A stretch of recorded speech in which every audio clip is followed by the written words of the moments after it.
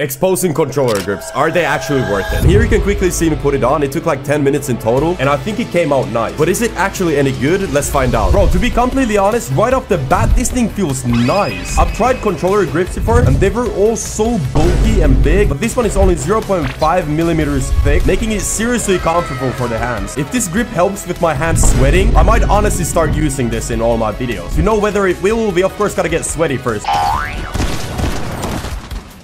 GG's. Yo, y'all see that beam?